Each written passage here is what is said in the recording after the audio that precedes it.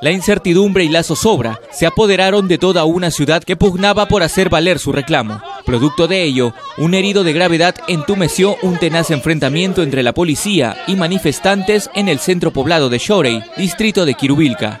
Yo lo he hecho directamente la, la culpa a la empresa.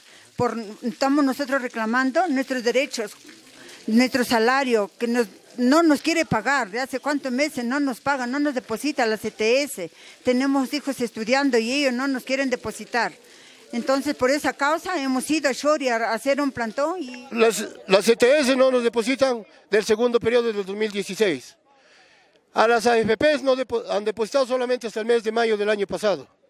Entonces, señores, es nuestro malestar. Y fue así como cerca de unos 500 mineros de la compañía minera Quirubilca tomaron la carretera de desvío Guamachuco-Santiago de Chuco, como medida de protesta porque la empresa no ha cumplido con el abono del CTS noviembre 2016. Repercute muchísimo, ya que con el sueldo miserable que paga la empresa solo sirve para subsistir y la mayoría de nuestros compañeros trabajan día a día como para trabajar solamente para comer.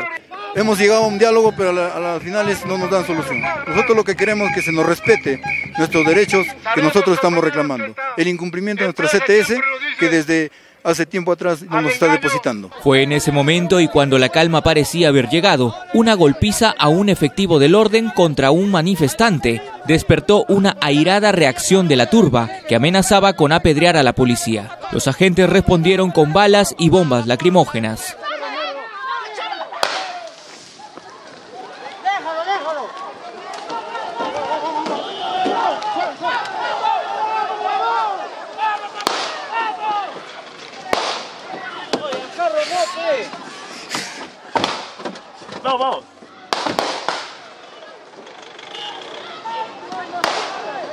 Hernán Beltrán Lázaro, trabajador estable de la minera Quirubilca, resultó herido con un impacto de bala en el abdomen. De inmediato recibió los primeros auxilios para luego ser trasladado al hospital Víctor Lazarte.